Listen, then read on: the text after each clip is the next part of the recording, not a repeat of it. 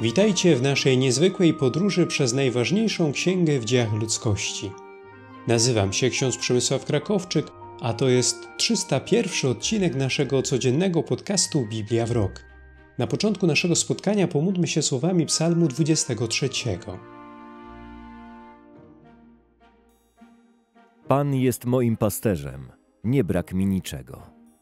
Pozwala mi leżeć na zielonych pastwiskach. Prowadzi mnie nad wody, gdzie mogę odpocząć. Przywraca mi życie.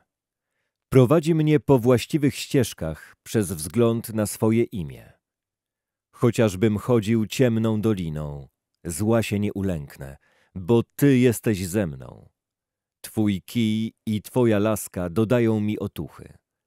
Stół dla mnie zastawiasz wobec mych przeciwników. Namaszczasz mi głowę olejkiem. Mój kielich jest przeobfity. Tak, dobroć i łaska pójdą w ślad za mną przez wszystkie dni mego życia i zamieszkam w domu pańskim na długie dni.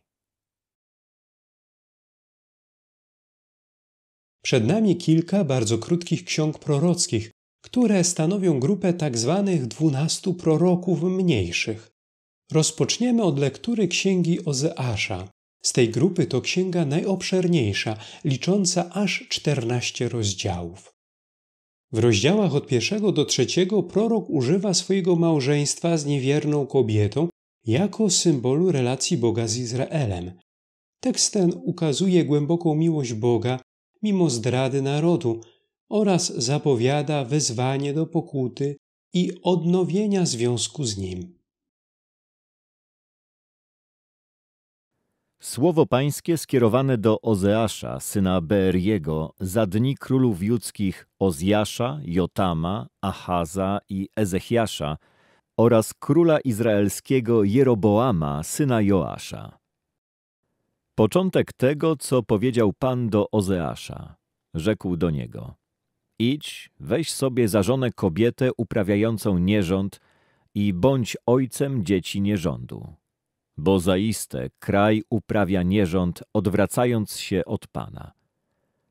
Poszedł więc i wziął za żonę Gomer, córkę Diblaima, a ta poczęła i urodziła mu syna. I rzekł Pan do niego, nadaj mu imię Izrael. Jeszcze trochę czasu upłynie, a ukaże dom Jehu za krew przelaną w Izrael i kres położę królestwu domu Izraela. W owym dniu złamie łuk Izraela na równinie Izrael. Poczęła znowu i urodziła córkę. Rzekł do niego Pan, nadaj jej imię Lo Ruchama, bo domowi Izraela nie okaże już więcej litości i wcale im nie przebaczę. Domowi Judy okaże jednak swą litość. Znajdą ratunek we mnie, w Panu, Bogu swoim. Nie ocalę ich jednak za pomocą łuku i miecza, ani też wojny, koni czy jeźdźców. Gdy przestała karmić córkę Loruchama, poczęła znowu i porodziła syna. Rzekł Pan, nadaj mu imię Lo-Ammi, bo wy nie jesteście mym ludem, a ja nie jestem waszym Bogiem. Liczba synów Izraela będzie jak piasek nadmorski, którego ani nie można zmierzyć, ani nie można zliczyć. A zamiast im mówić, wy nie jesteście moim ludem, będą im mówić, dzieci Boga żywego. Złączą się wówczas synowie Judy z synami Izraela i ustanowią sobie jedną głowę. Z całego kraju się zbiorą, bo wielki będzie dzień Izrael. Mówcie do braci swoich, mój lud, a do swych sióstr, umiłowana. Spór prowadźcie z waszą matką, prowadźcie spór. Ona bowiem już nie jest moją żoną, a ja już nie jestem jej mężem. Winna usunąć znaki nierządu ze swej twarzy i z pomiędzy swych piersi ozdoby cudzołożnicy. W przeciwnym razie obnażę ją zupełnie i stanie się taka jak w dzień swych urodzin. Uczynię ją podobną do pustyni, sprawię, że będzie jak ziemia wyschnięta i umrze z pragnienia. Dzieciom jej nie okaże litości, bo są to dzieci nierządu. Matka ich bowiem uprawiała nierząd. okryła się hańbą ta, co je poczęła. Mówiła bowiem, pobiegnę za swymi kochankami, co chleb mi dają i wodę, wełnę, len, oliwę i napój. Dlatego zamknę jej drogę cierniami i murem otoczę, tak że nie znajdzie swych ścieżek. Za kochankami swymi pobiegnie, ale ich nie dogoni. Zacznie ich szukać, ale nie znajdzie. Wtedy powie, pójdę i wrócę do mego męża pierwszego, bo wówczas lepiej mi było niż teraz. Nie wie już o tym, że to ja właśnie dałem jej zboże, moszcz, świeżą oliwę, że nie skąpiłem srebra ni złota, z którego uczyniono Baala. Dlatego wrócę i zabiorę swoje zboże w odpowiedniej chwili i swój moszcz we właściwej porze. Odbiorę moją wełnę i len, co miały okryć jej nagość. Teraz obnażę ją przed oczami kochanków i nikt jej nie wyrwie mi z ręki. Położę kres wszystkim jej zabawom, świętom, dniom nowiu, szabatom i wszystkim uroczystym zebraniom. Zniszczę jej winnice i sady figowe, o których mówiła Oto zapłata moja, jaką mi dali moi kochankowie. W gąszcz je obrócę i będą się nimi pasły dzikie zwierzęta. Ukażę ją za dni Baalów, gdy im paliła kadzidła, a zdobna w swe kolczyki i naszyjniki biegała za swymi kochankami, a o mnie zapomniała, wyrocznia Pana.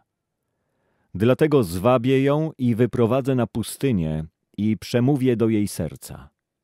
Tam zwrócę jej winnicę, a z równiny Akor uczynię bramę nadziei. I tam odpowie, jak w dniu, w którym wychodziła z ziemi egipskiej. I stanie się w owym dniu, wyrocznia Pana, że nazwie mnie mąż mój, a już nie powie mój Baal.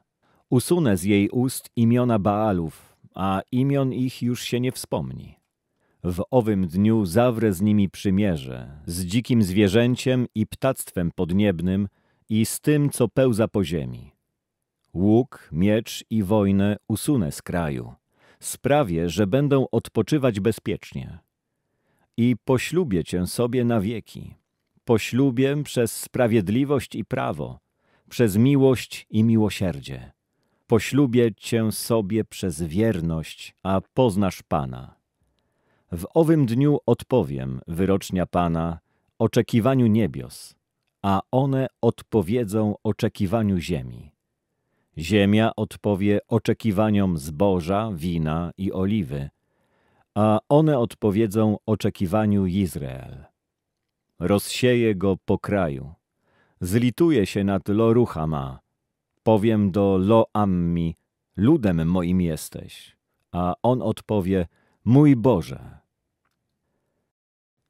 Pan rzekł do mnie, idź, Pokochaj jeszcze raz kobietę, która innego kocha i cudzołoży. Tak miłuje Pan synów Izraela, choć się do bogów cudzych zwracają i lubią placki z rodzynkami. Nabyłem ją za piętnaście syklów srebrnych, za półtora korca jęczmienia. I rzekłem do niej, przez wiele dni pozostaniesz u mnie.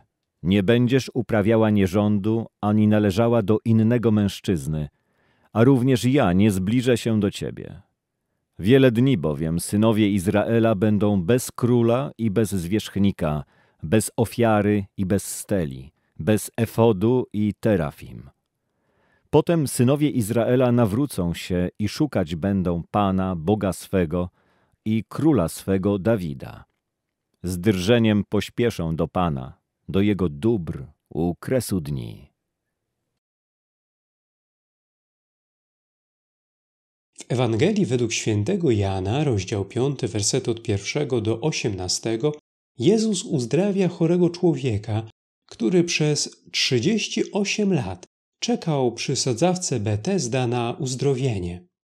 Uzdrowienie to dokonuje się w szabat, co wywołuje oburzenie wśród żydowskich przywódców religijnych, ponieważ Jezus łamie zasady odpoczynku szabatu. W odpowiedzi Jezus wskazuje na swoją jedność z Ojcem, co jeszcze bardziej rozwściecza przywódców, którzy oskarżają go o bluźnierstwo, gdyż czyni siebie równym Bogu. Fragment ten ukazuje nie tylko uzdrawiającą moc Jezusa, ale także pogłębiający się konflikt z żydowskimi przywódcami. Potem było święto żydowskie i Jezus udał się do Jerozolimy. W Jerozolimie zaś jest przy owczej bramie sadzawka, nazwana po hebrajsku Betesta, mająca pięć krużganków. Leżało w nich mnóstwo chorych, niewidomych, chromych, sparaliżowanych.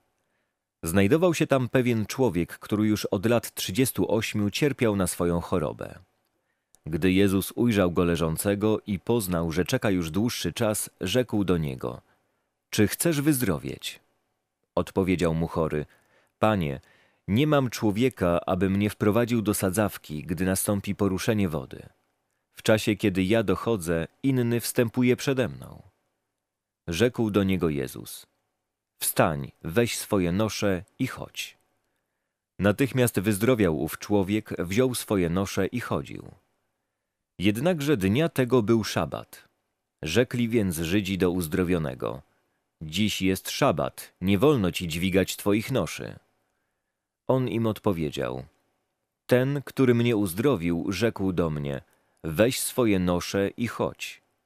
Pytali go więc: Cóż to za człowiek ci powiedział? Weź i chodź. Lecz uzdrowiony nie wiedział, kim on jest, albowiem Jezus odsunął się od tłumu, który był w tym miejscu.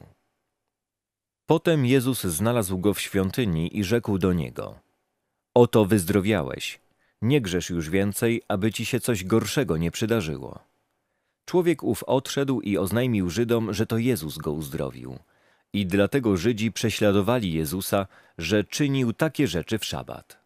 Lecz Jezus im odpowiedział: Ojciec mój działa aż do tej chwili i ja działam. Dlatego więc Żydzi tym bardziej usiłowali go zabić, bo nie tylko nie zachowywał szabatu, ale nadto Boga nazywał swoim Ojcem, czyniąc się równym Bogu.